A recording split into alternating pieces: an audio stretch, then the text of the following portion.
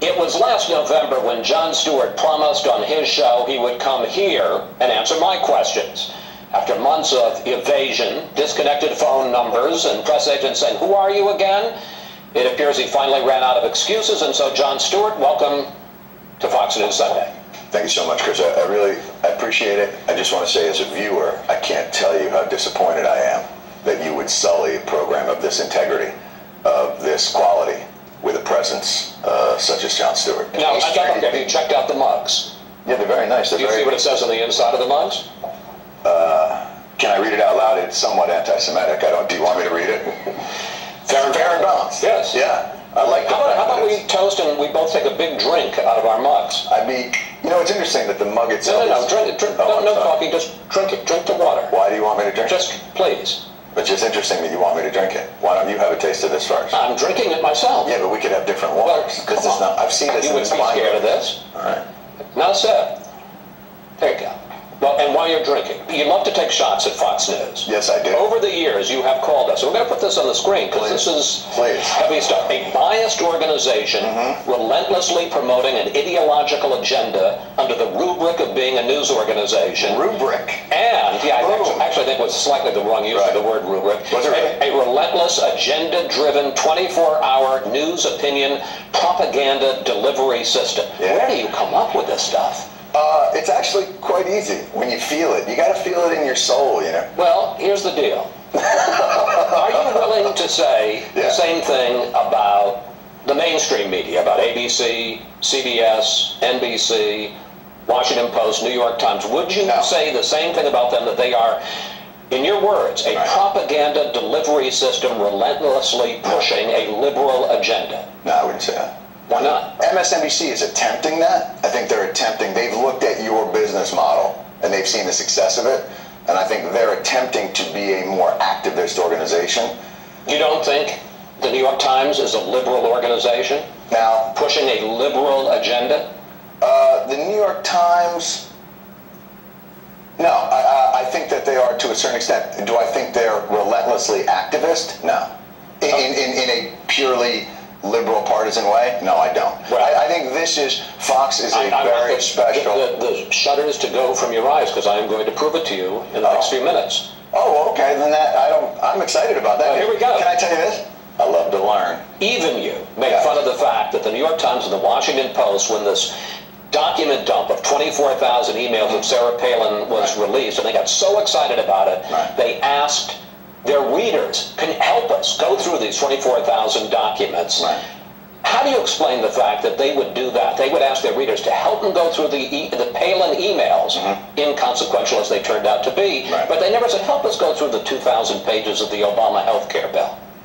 Because I think their bias is towards sensationalism and laziness. I wouldn't say it's towards a, a, a liberal agenda. It's uh, light fluff, so it's absolutely within the wheelhouse. I mean, if, if your suggestion is that they are uh, relentlessly partisan, then why haven't they gone uh, and backed away from Wiener? Now they've do- they, they've they've uh, uh, jumped into the Wiener pool uh, so uh, with such delight and such relish because the bias Some of the main- are indefensible. the, the bias of the mainstream. Oh, I'm not saying it's defensible, but the bias of the mainstream media is towards sensationalism, conflict, and laziness. You take your own shot. Uh, Yeah. Recently at Sarah Palin, you compared her video of her one bus, one nation bus tour to a certain commercial. Let's take a look. Valtrex. As the tour rolls on, stopping at historic places like Gettysburg. and then to Philadelphia to see the Liberty Bell. You know what's cool, man? The way they had reporters finishing each other's sentences. Where have I seen that technique before? I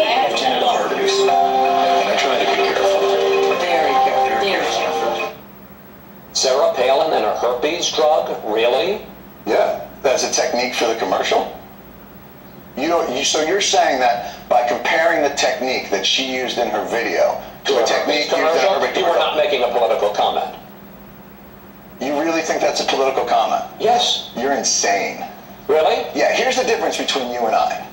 I'm a comedian first. My comedy is informed by an ideological background. There's no question about that. But the thing that you will never understand, and the thing that in some respects conservative activists will never understand, is that Hollywood, yeah, they're liberal, but that's not their primary motivating force. I'm not an activist.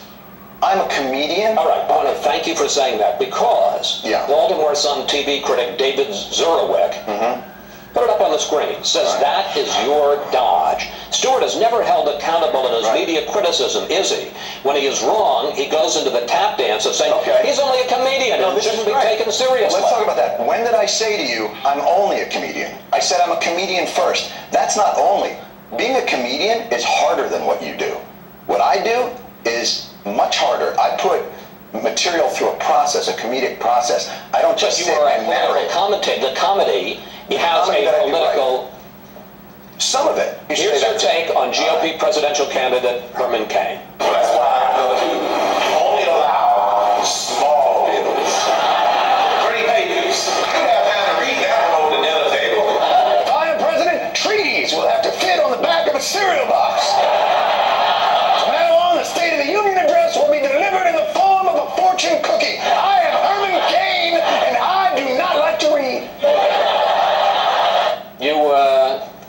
remake of Amos and Andy? Why don't you show? Do you want to show me doing all the voices for all the other people that we do? Do you want to see my New York voice? My Chinese guy voice? Are you suggesting that you and I are the same? Are you suggesting that what am I at my highest aspiration and what are you at your highest aspiration? I think, Tell me. honestly, I think you want to be a political player. You are wrong. You're dead wrong. We, I appreciate I appreciate what you're saying. Do I want my voice heard? Do I want my voice heard? Absolutely. That's why I got into comedy. Am I an activist in your mind? An ideological partisan activist? Yeah. Okay, then I disagree with you. You can't understand because of the world you live in that there is not a designed uh, ideological agenda on my part to affect partisan change because that's the soup you swim in.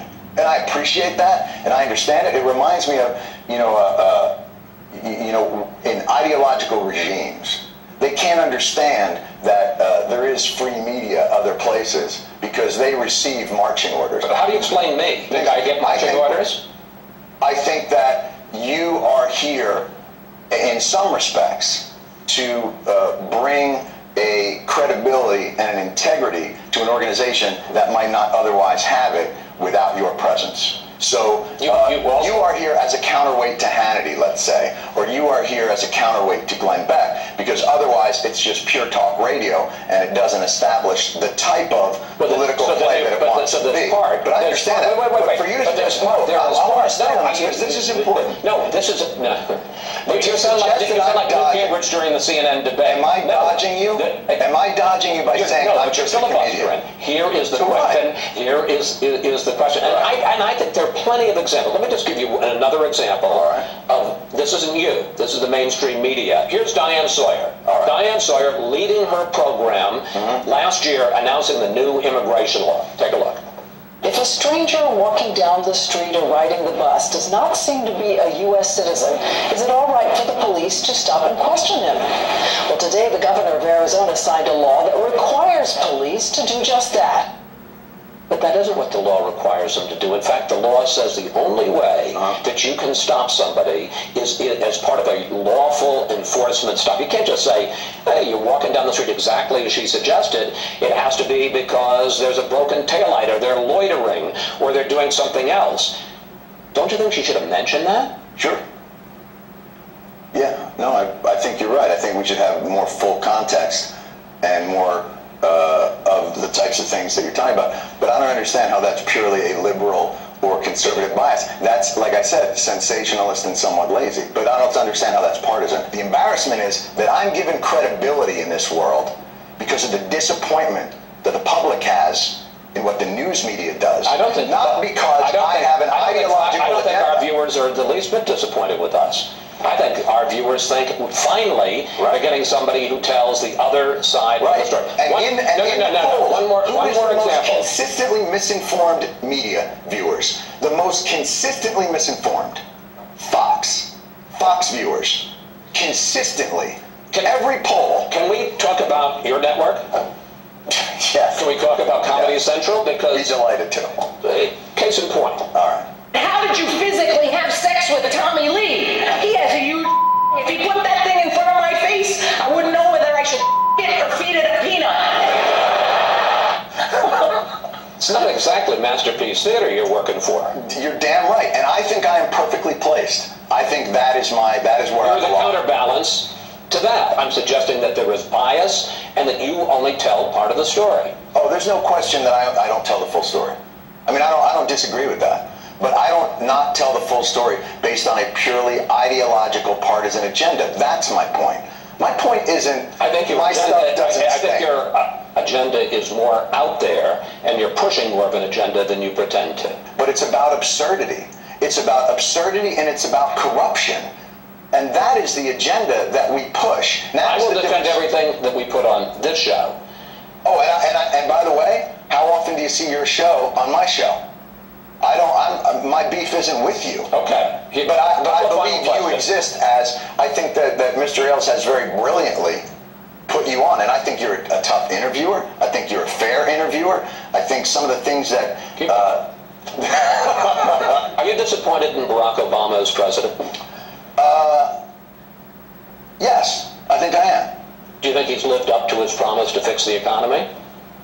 No, I don't know uh, kind of sway that a president can have on the economy, but do I believe that he's uh, lived up to the promises? No, he came in and said, you can't expect to have uh, a, a different result with the same people. That was, in many ways, his seminal campaign focus.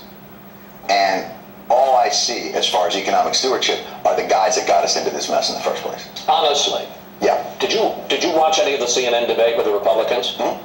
Did you see anybody on that stage who you could envision voting for against Obama? I thought that in general, you know, their responses to things in terms of uh, tax cuts being uh, the magic bullet as to what it is. So far, I haven't heard anything that appeals to my sense of that that intrigues me politically or uh, uh, in any way that is different. What intrigued me about Obama was a statement that I thought he understood. Uh, the, the corrosiveness of the system that existed, and I thought he was going to do more to blow that system up. When's the last time you voted for a Republican for president? Uh, for president, HW. Against Michael Dukakis? That's right. Really? Mhm. How come?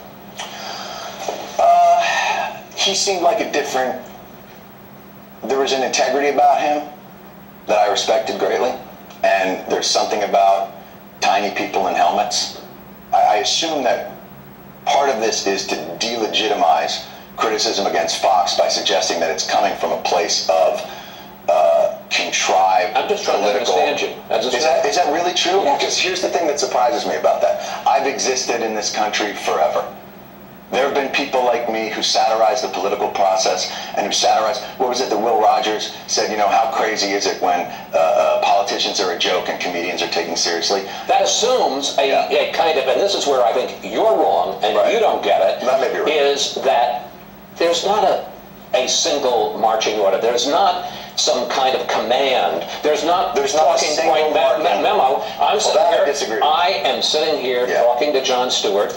And I'm trying to get it, trying to understand you. I'm trying to see whether or not you recognize that what I believe is true. There's as much bias on the other side as you subscribe to Fox, and why you seem I believe to that go easy on that. I think that there is a probably a liberal bias that exists within the media that is because of the medium in, in which it exists. I think that the majority of people working in it probably hold liberal viewpoints, but I don't think that they are as relentlessly activist as the conservative movement that has risen up over the last 40 years.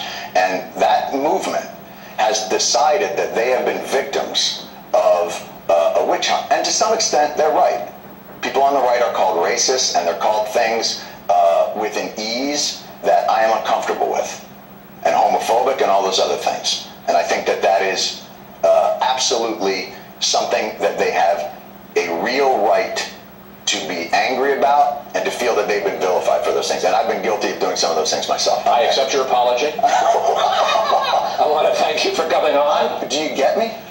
Well, you know what? When you come back, we can explore this some more. All right. And we, we validate. Still? You're a good man. Up next, we'll ask our Sunday panel why the Democrats are missing in action when it comes to laying out a plan to deal with the nation's debt problem.